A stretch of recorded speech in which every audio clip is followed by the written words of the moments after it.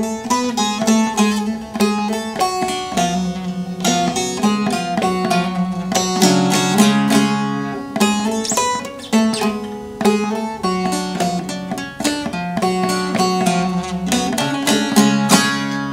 sevgili canlar, dostlar. Ben Cem Kervan. Bu hafta barış için ne yaptım bugün? Adlı bir deyişi paylaşmak istiyorum sizinle. Barışlar gider mi senin hoşuna? Barış sağlamaya ne yaptın bugün? Küs ve kızgın kalma boşu boşuna. Ey can barış için ne yaptın bugün? Biz hepimiz barış diyoruz, sevgi diyoruz, barış diyoruz. Ama yani ülkeler çapında öyle diyoruz. Ama e, fertlere gelince Ha, yok onunla barışmam. Onun suçu çok büyük. Ee, küsüz diyoruz. Oh olmadı.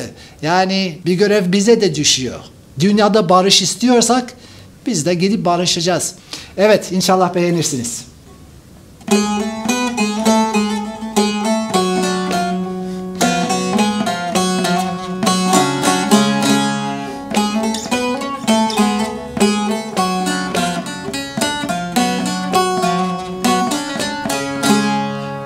Barışlar gider mi senin hoşuna?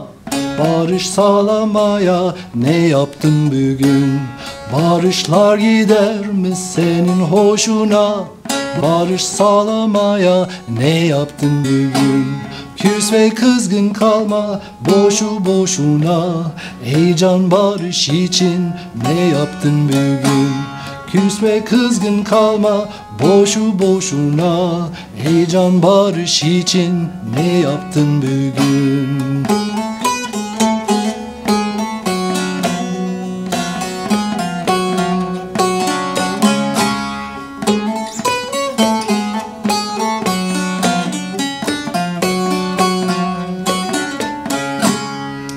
Barışamadın kişiyle barış Barışta sevgide saygıda yarış.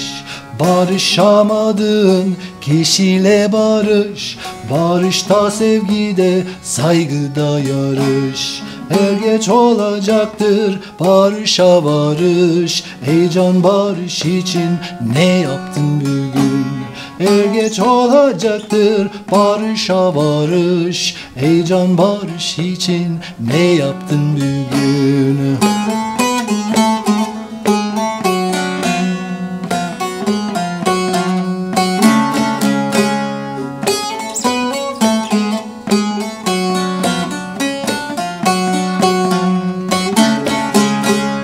Kervanım şiddeti barışla yensen Nefreti sevgiyle, kini aşkla yen.